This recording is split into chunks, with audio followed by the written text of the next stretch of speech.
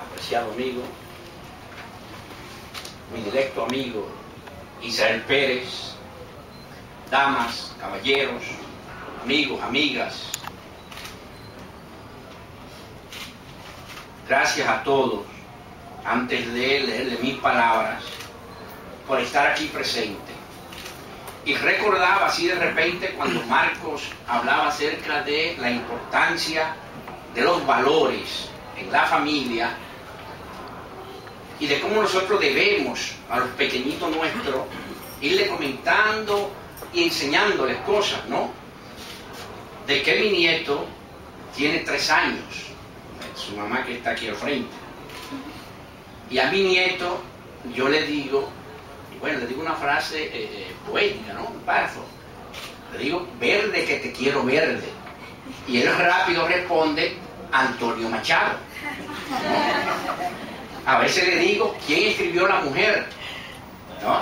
Y a veces pues se, olvida un poquitito y digo, Juan, dice Bosch. ¿no? De manera que va aprendiendo, yo creo que eso es importante. Pero bien, visto desde un contexto histórico, dos fenómenos coexisten dentro del campo exclusivo de la administración pública, uno positivo y otro negativo, de fácil apreciación desde las perspectivas sociopolítica, psicosocial o socioeconómica. Hablamos naturalmente de la corrupción y de la transparencia. Una siempre está en oposición a la otra. La transparencia conduce a mostrar una sociedad democrática mucho más acabada y respetuosa de sus instituciones, mientras que la corrupción siempre ha sido portadora de una mancha repudiable, difícil de ocultar, digamos que una mancha indeleble, como si titula un cuento de Don Juan, mi querido profesor Don Juan Bosch. Para cualquier país que, en vía de fortalecimiento de sus políticas públicas, haya decidido transitar por los caminos de la democracia. Conforme a la verdad, nuestro interés radica en acercarnos lo más posible, sin ninguna pizca de malicia, a los defectos de la corrupción y a las virtudes de la transparencia en el sector público. Es decir, abordar los litorales de ambas en búsqueda de soluciones que vayan en beneficio de la sociedad.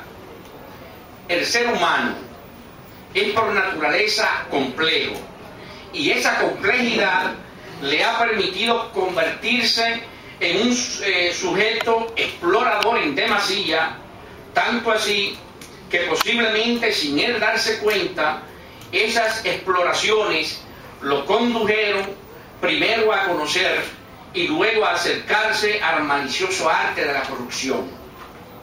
Desde entonces, después de haber acariciado los tentáculos de la corrupción, las personas han vivido construyendo y destruyendo, cambiando permanentemente sus sueños, realidades y utopías. Unos alejados de las tentaciones y otros tendiendo los brazos para sentir correr por sus venas el infernal líquido sabiamente inyectado por los señores corruptores. Esa es la vida. Esa es la constante lucha entre el bien y el mal. Hoy día, la corrupción se ha convertido en un tema obligado, de primer orden, no solo para los cientistas sociales, dentro y fuera de los centros académicos, sino además para todos los gobiernos de trascendencia democrática, puesto que esta, la corrupción, junto al narcotráfico, es una amenaza latente capaz de desacreditar a gobernantes y funcionarios, altos y medianos, a empresarios, grandes y pequeños, y por supuesto a los partidos políticos del presente. La pérdida de valores, el rechazo a las reglas morales, la permisividad hacia la fastidiosa impunidad, las faltas de voluntades políticas y jurídicas, la inclinación absurda de exigir castigo hacia los culpables o corruptos ubicados en la acera del frente e ignorar a los culpables o corruptos del entorno cercano. Son señales indicativas de la actual descomposición por la que está atravesando nuestra sociedad. La corrupción es un cáncer repudiable que atenta contra nuestro sistema democrático y nuestra estabilidad política, social y económica, afectando el gasto público y las finanzas del país, que pone en duda la moralidad y la legitimidad del gobierno, la honradez del aparato administrativo y de las organizaciones políticas, que retrasa nuestro proceso de crecimiento y desarrollo y, lógicamente, incide de manera directa en el aumento del fenómeno de la pobreza. Lo cierto es que en la medida que nosotros pongamos mayores esfuerzos en los procesos de capacitación y profesionalización de todos los empleados y trabajadores del Estado, mucho más tendrá a disminuir la sensación de incredibilidad en las instituciones gubernamentales por parte de la opinión pública. De ahí la importancia de la inversión en los recursos humanos para el reforzamiento de los procesos de reformas y modernización en el Estado. Para nadie es un secreto que donde haya transparencia habrá honestidad, confianza y eficiencia. Y donde existan honestidad, confianza y eficiencia, tendremos por ley natural unos servidores públicos de calidad, prestos para cumplir con las demandas del interés colectivo. Jamás olvidemos que en la medida que cambiamos la mentalidad de los servidores públicos, en esa misma medida cambia su comportamiento en la administración pública.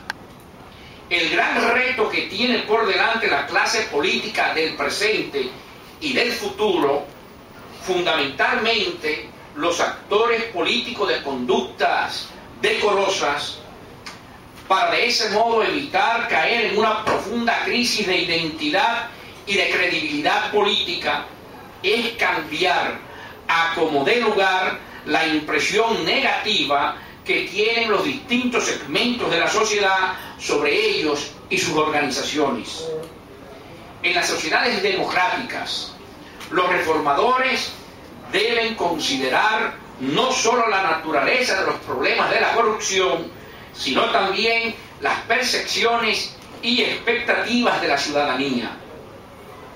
No podemos ocultar que los vicios y la ausencia de valores de algunos políticos son trasladados a la administración pública inmediatamente después que la organización política en la que hace vida llega a tomar las riendas del poder.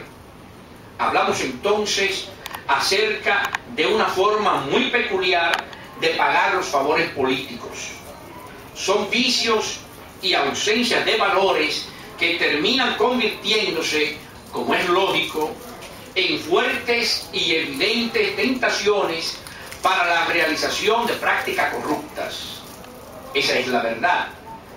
En definitiva, amplias y encendidas discusiones y opiniones encontradas entre dos o más personas han existido y continuarán existiendo en la República Dominicana y fuera de nuestro país cuando se dilucidan los temas de corrupción y transparencia.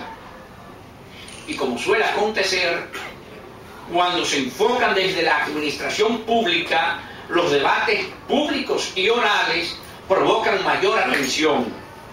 Por consiguiente, siempre resultará útil construir muros de contención en aras de atajar una corriente corruptiva impetuosa, sucia, provocadora, la cual, como si fuese agua turbia envenenada, intenta socavar los valores cristianos y morales que perduran en la familia y en la sociedad.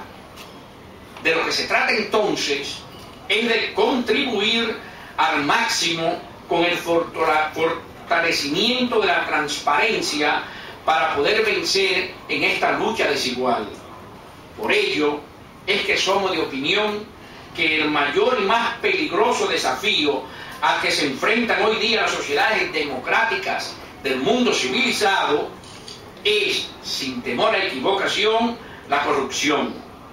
Ni por un segundo olvidemos que la corrupción es generadora potencial de la pobreza, la delincuencia, el abuso y el parasitismo social.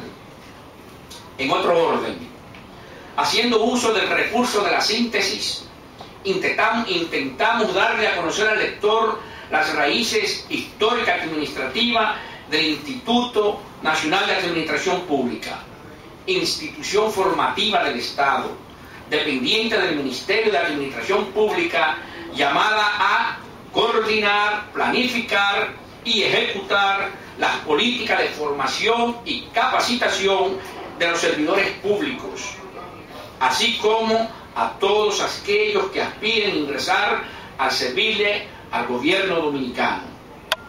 Hoy, sintiendo un gran orgullo, podemos manifestar que tenemos en la República Dominicana una administración pública fuerte y moderna, a ras con las exigencias de este nuevo mundo globalizado.